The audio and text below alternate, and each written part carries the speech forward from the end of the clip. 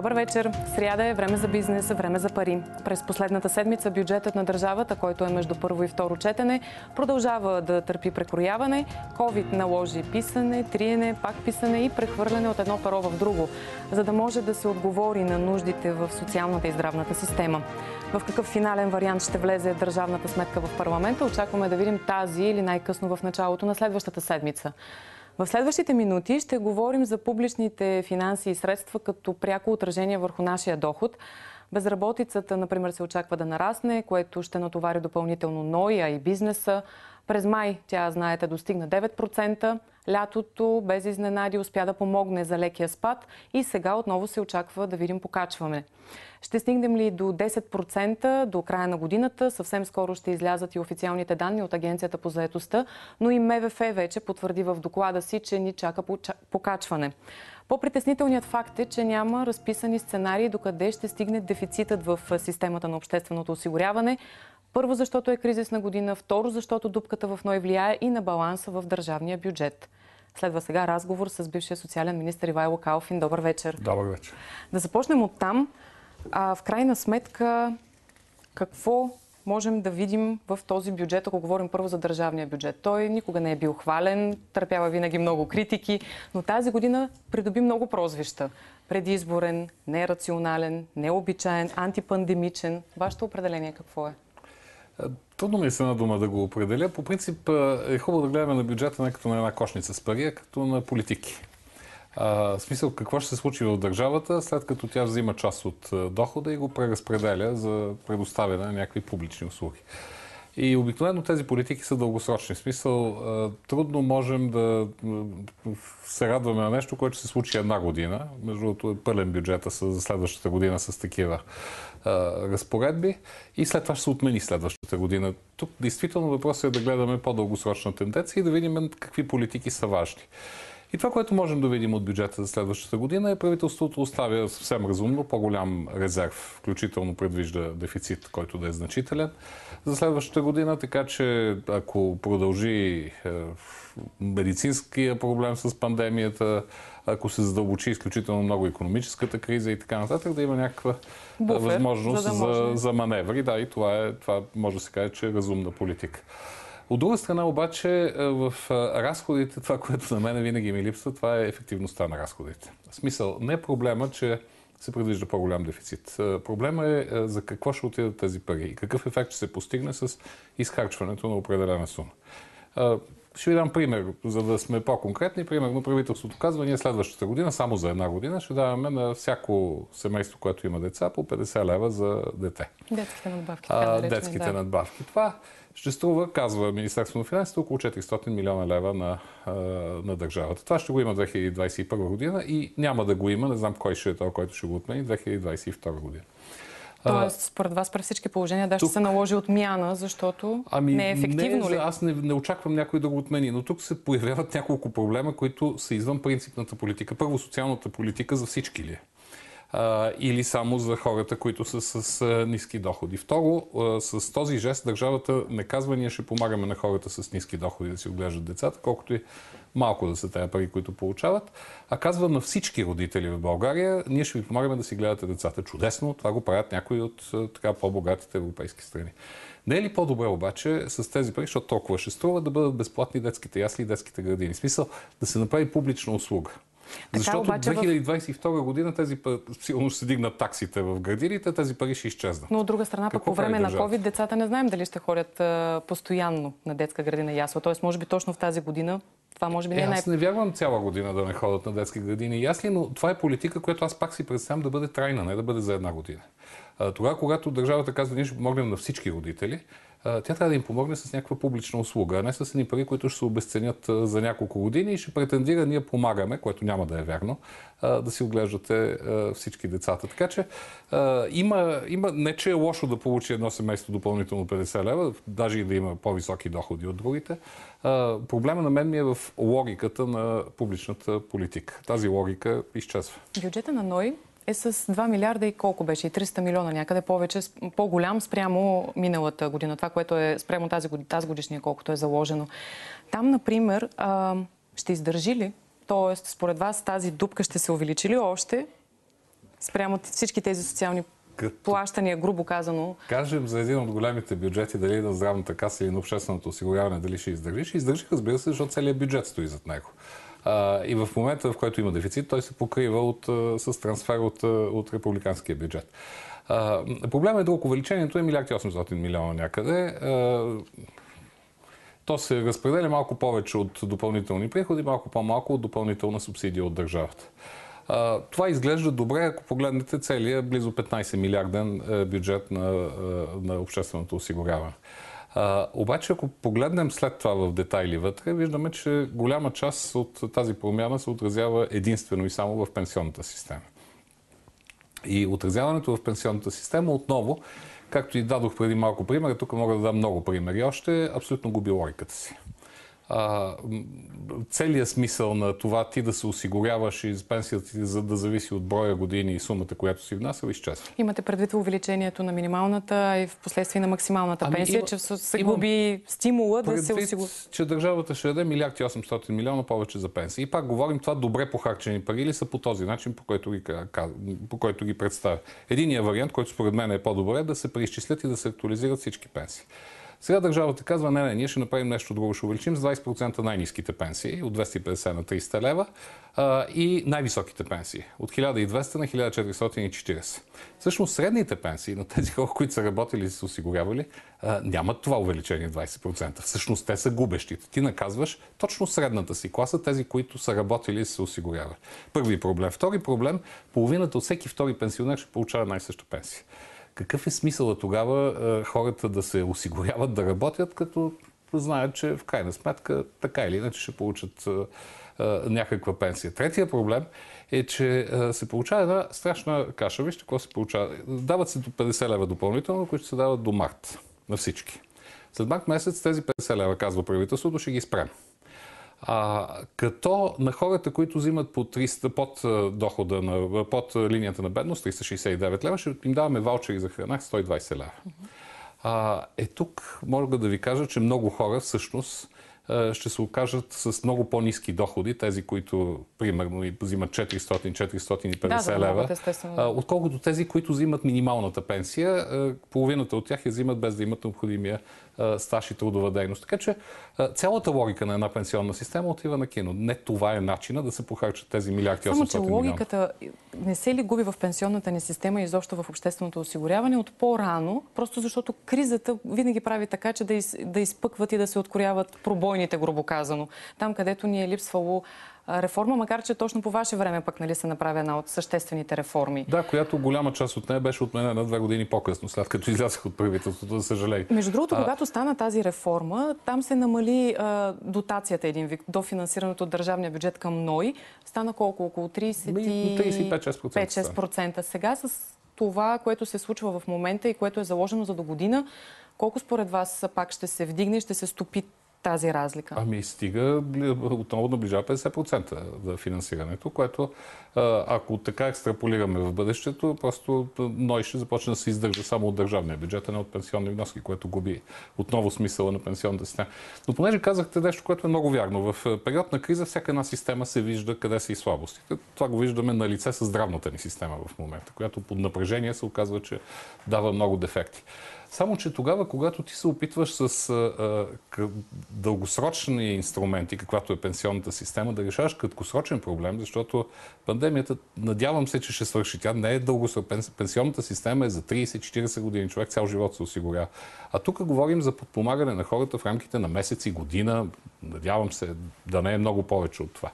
А, така че тук мерките не трябва да бъдат с инструмента, който, който се занимава с дългосрочните политики и заради краткосрочното подпомагане на хората да се ремонтират, в кавички казвам, механизми, които трябва да работят дългосрочно. А дългосрочният С ефект би ли бил този толкова... милиард и 800 милиона могат да се пом- подпомогнат действително хората с по-низки доходи, без да се обърква пенсионната система. Ако бъдат дадени на всички по-равно. Това ли имате през, за да се запазят разликите Не, в... преизчисляването съвсем с не значи на всички по-равно, а означава да се отчете отново стажа, Стажа и вноските. И разбира се, трябва да се, дадат, да се даде по-солидна социална помощ на хората с най-низки пенсии. Ако наистина се стигне до някакъв Но пост... не пенсия, а социална, Социална помощ. Трябва помощ. да правим разлика между двете. Ако а, в крайна сметка се стигне до момента, в който Може ли да имаме един скептичен сценарий, в който в дългосрочно, на база това, което се прави, без това хората в момента са загубили доверие в, в това да се осигуряват, защото всички знаем, че не получаваме равноправно това, което сме внасяли. В дългосрочният ефект в НОИ тази криза какъв ще бъде? Ще има ли още отлив ами, на хора, които се осигуряват? Вие казвате нещо, което е факт. Хората губят доверие в пенсионната система. Аз обаче като такъв неубиваем оптимист и мисля, че това нещо трябва да се поправи. Ние имаме всички нужди от пенсионната система.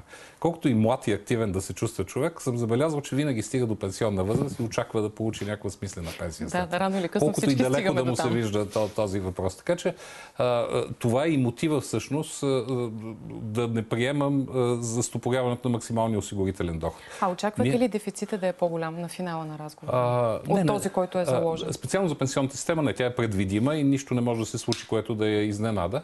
А, в фонд безработица би могло да има разлики, но там има достатъчно буфери, включително европейски средства, така че да, фонда, не мисля, че дойдат. там би могло нещо да се случи. Големия проблем е с... Но това е извън кризата с COVID бременност и, и, и временни заболявания, Болнични, но там е свързано с цяла, целият проблем с системата. И, в, и, да, и, и това е дългосрочен проблем. Нека да не смесваме. Той не се решава по никакъв начин, но да не го смесваме с сегашната криза. Добре, благодаря ви много за, за този коментар.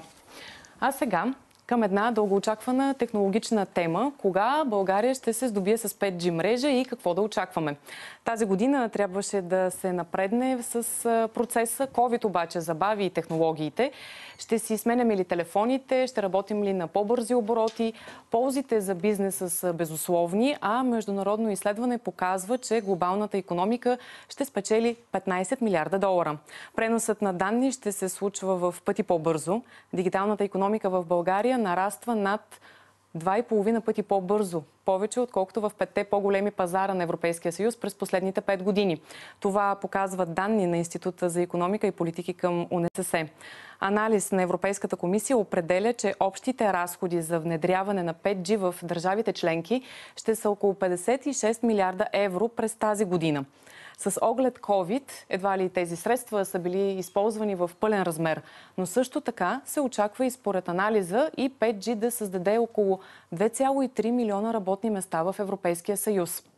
За България дигитализацията по-оптимистична прогноза може да добавя по 1% върху брутния вътрешен продукт. Но има и но ще изграждаме по-гъсто разположени станции заради техническата специфика на покритие на мрежата от пето поколение. А много хора се притесняват, че тази свръхмодерна технология само ще ни навреди заради по-мощното излъчване.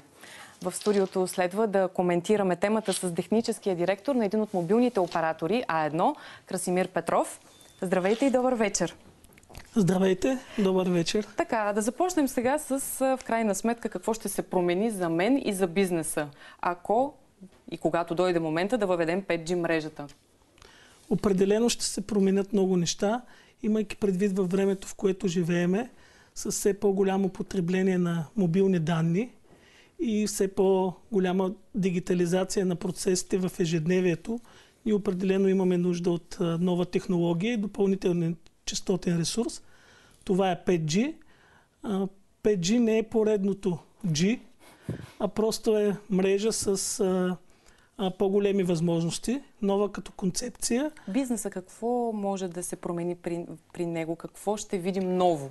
Благодарение на, на тази технология, допълнителните частоти, ще имаме възможност да предоставяме по-комплексни, по-разнообразни, по-качествени услуги към бизнеса и крайните потребители, благодарение на функционалността на мрежите, базиране на така наречените Network Slicing, което е логическо разделяне на мрежите, така че да могат да се предоставят различни типови услуги спрямо конкретните нужди на конкретния клиент с различни качествени параметри. Например, казват, гейминг индустрията ще е сред секторите, които така ще видим в подем.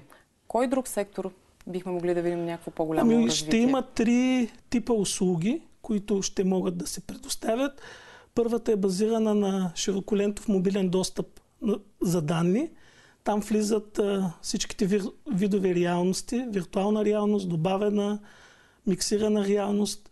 Ще имаме възможност да гледаме телевизионни предавания и видеа с най-високо качество, 4 8К. също ще може да предоставяме фиксирани услуги на места, където няма кабелна свързаност. Втория тип услуги, където реално е и гейминга, са базиране на ам, критична комуникация между машините с ниско време закъснение. Там ще бъдат реализирани и концепциите за телемедицина, за роботизация, автономни автомобили, всички индустрии, при които е необходимо машините да се говорят почти в реално В време. реално време. То, Колко по-бързо ще стане? В сравнение с 4G, човек как може да си го представи? Колко по-бързо като процент или като дял?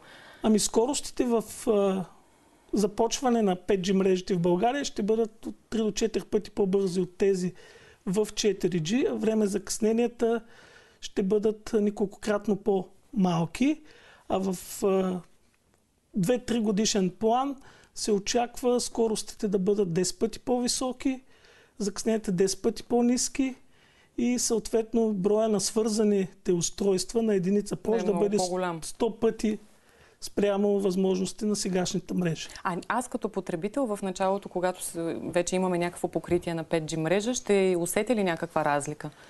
Да, първата разлика, която ще усети всеки потребител на истинска 5G мрежа, държа да подчертая истинска, защото тя ще бъде възможна само с допълнителния частотен ресурс, е по-високата скорост, с която ще може да използвате мобилен интернет или сваляне на данни. Другото нещо, което ще се усети е време за къснението. Това е пак Да. при по-критични приложения. Но ще трябва да си сменя телефона.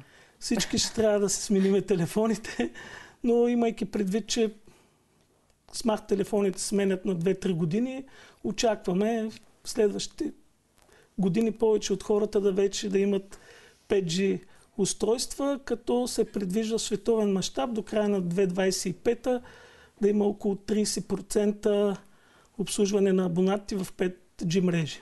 Добре, обаче, до тук всичко звучи много, много хубаво и много оптимистично. Не можем да не подминем страховете на хората, защото те, те са наистина навсякъде, включително днес и в фейсбук страницата на предаването. Много хора писаха и коментираха. Хората се притесняват, че това по-мощно излъчване ще вреди на здравето им. Доколко всъщност това е основателно? Има ли научни изследвания наистина, които доказват, че това ще ни вреди повече?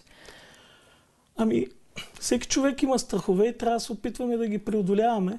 А имаше ли такива и И- при 4G в мрежата, когато се въвеждаше? Ами всяко нещо ново има различни страхове. Чак в такъв мащаб нямаше, но определено имаше коментари по темата. Да, да, има И тогава- от типа, че 5G не, не- трябва да бъде забранена, че България няма нужда, че хипертониците ще, с извинения, ще починат по-бързо. Това са все коментари от нашата стена във Фейсбук.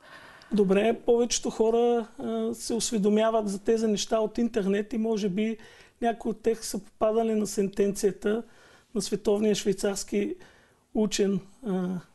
Той е физик, алхимик, философ, който казва за веществата, че дозата е това, което прави отрова или лекарство едно вещество. Всъщност, дозата, с която се определя влиянието на електромагнитните полета в човешкия организъм, се измерва като плътност на енергийното поле, която е в микровати на квадратен сантиметър. И тук идваме до нормите. А, нормите за а, тези излъчвания са в наредба номер 9 на Министерство на здравеопазването. И тук е много важно всички зрители да разберат, че нормите в България са от 45 до 100 пъти по-стрикни от тези в Европейския съюз. Това, между, това, между другото, е теза, която застъпиха от Комисията за регулиране на съобщенията, като казват, че хората няма основания да се притесняват заради по-завишените изисквания и норми от, към нас в сравнение с други европейски страни. Аз ви предлагам първо сега да чуем интервюто с Иван Димитров и ще продължим темата в студиото. Кога всъщност мобилните оператори ще имат разрешителни на терен да започнат работа?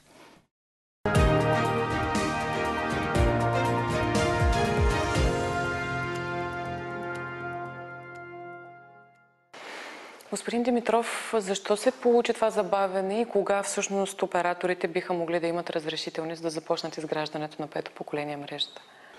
Забавянето в изграждането на мрежа от пето поколение се получи във връзка с събитията, които неочаквано ни така, ние преживяваме и в момента.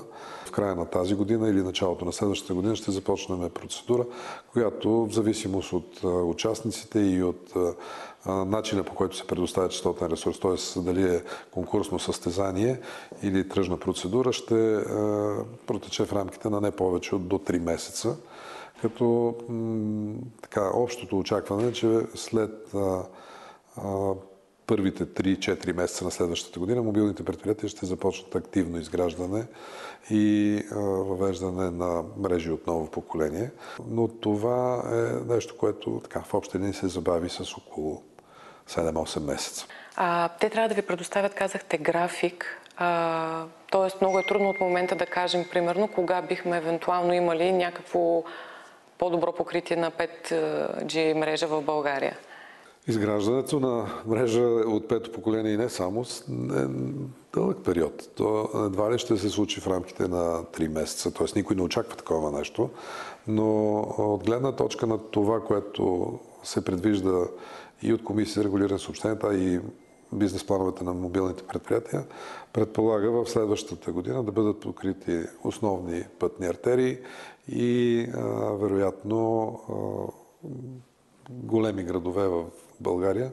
Самите оператори искаха да се намали тарифата за радиочастотния спектър, искаха да се облегчат административните процедури по изграждането нали, на въпросните станции. Това ще се случи ли? С колко ще се намалят? С колко ще се намали въобще процедурата? Комисия регулиране на съобщенията и не само в комисията се разгледа тарифата за предоставяне на частотен ресурс и в а, лятото на тази година тя беше приета. Това е оптимизиране на частотния ресурс с от порядъка на до, до 25%, като това е съобразено с тенденциите на други а, регулатори в Европейския съюз. Но най-голямото притеснение на хората е, че ще имаме по-гъсто разположени станции, че ще има по-голямо облъчване, че това ще да ни вреди на здравето, че това ще да наруши биоразнообразието, птиците, всичко останало. До каква степен наистина чисто технологично са оправдани притесненията на хората? Такива притеснения има и те не са само в България. Факт е, че всяко ново появило се техническо и технологично решение така, буди достатъчно интерес и може би и притеснения. От друга страна, в България действат доста по-рестриктивни мерки към параметрите, с които работят такива съоръжения. Тоест, те са с доста по- сериозни изисквания, отколкото регламентираните в Европейски съюз. Ние имаме наши стъпки и план, в който да подобриме информираността на потребителите. Изграждаме лаборатория за електромагнитна съвместимост, с която да можем да показваме реалните параметри на съоръженията, които се използват в такава мрежа. А какво ще се прави? Хората как, какво могат да видят в тази лаборатория? Какво могат тази да лаборатория може да се изследват техническите съоръжения, с които се изгражда мрежата и които се използват. И може да се покаже колко и какъв е, какво е излъчването, което имат. Също така такива измерения се правят в здравеопазването и те са много сериозни и много детайлно направени. Едно от другите притеснения е, че този телефон, който сега не може да работи, да речем, с 5G, но следващия, който ще си купя най-вероятно и е от пето поколение мрежа, той ще облъчва ли повече? Ами, едва ли. по принцип, в, точно в този тип лаборатории се изследват и тези терминални устройства, с които най-малко се проверяват техническите параметри на всички съоръжения, които се появяват в пазара. Надявам се в края на 2021 година или началото на 2022 и ние да можем да покажем такива изследвания в тази лаборатория, с която да покажем, че използването на телефон или такова терминално устройство е в рамките на допустимите норми.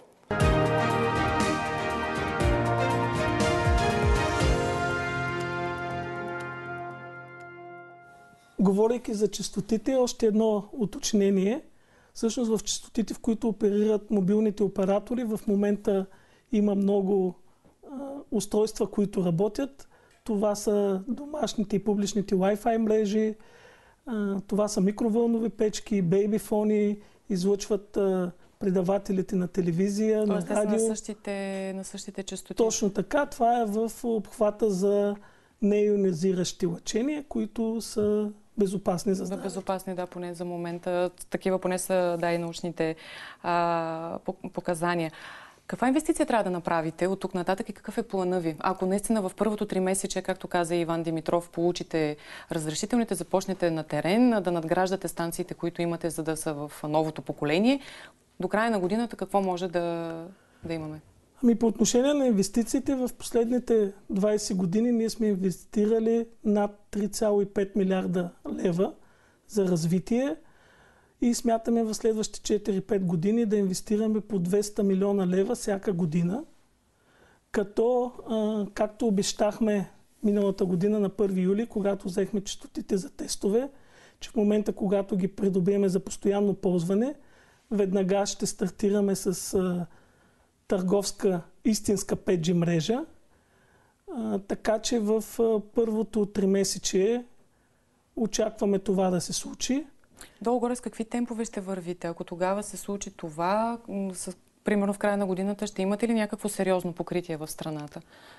Ами да, смятаме да започнем с местата, където бизнесът и а, крайните потребители ще имат най-висок интерес от 5G мрежата. Тоест, по-големите градове се предполага това. Да, и в следващите 2-3 години ще имаме покритие в цялата страна. Добре, благодаря ви много за този разговор. Ние, докато се борим да стартираме Благодаря и аз. 5G мрежата, Китай вече изстреля първите си 13 сателита от 6-то поколение. Със сигурност поредната стъпка към независимостта й, защото новата мрежа казват, че и новата терахерцова комуникация в космоса и е съвсем възможно това поколение мрежа да се използва единствено за космически цели. А скоростта й ще бъде 100 пъти по-бърза от тази на петото поколение. Ясно е, че тук не става въпрос само за дигитализация и напредък, нито само за стремеж към демонстрация на технологична мощ от страна на Китай. Геополитически това е инструмент за постигане на независимост и то на всякакво ниво. И една друга голяма новина Volkswagen. Без нов завод. Компанията намалява разходите си за производство. След година и половина подбор и интрига къде точно германският концерн да разположи новия си завод. В крайна сметка те се отказаха да направят това в Турция с оглед съкръщаването на разходите заради COVID. Така се разделяме. Благодарим ви за коментарите и споделянията в фейсбук страницата ни. Хубава вечер!